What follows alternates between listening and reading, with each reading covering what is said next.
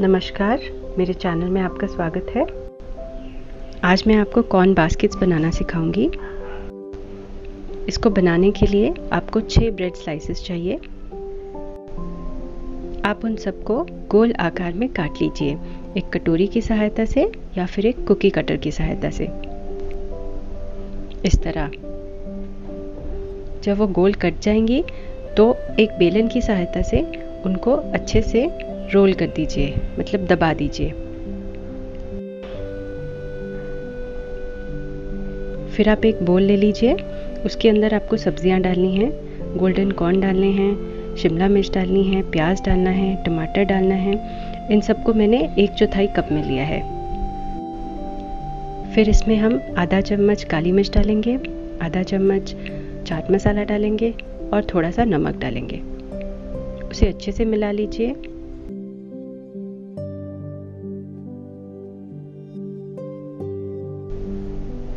इसके बाद हम एक बेकिंग ट्रे लेंगे और जो हमने गोल आकार में ब्रेड काटी थी, उसको मफ़िन कप्स के अंदर अच्छे से ध्यान से डाल दीजिए।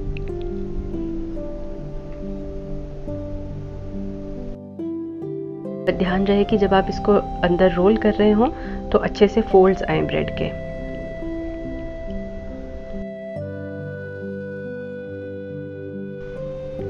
अब हम मिक्सचर लेंगे जो हमने सब्जियों का बनाया था और उसके अंदर थोड़ा केचप डाल देंगे। इस मिक्सचर को आप ध्यान से इन बास्केट्स के अंदर डाल दीजिए।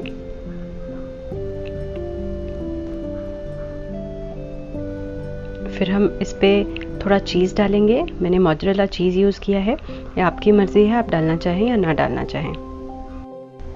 यह बेक करने के लिए रेडी है। आपको प्री हीटेड अवन के अंदर इसे 10 मिनट के लिए बेक करना है। 180 डिग्री सेल्सियस पे।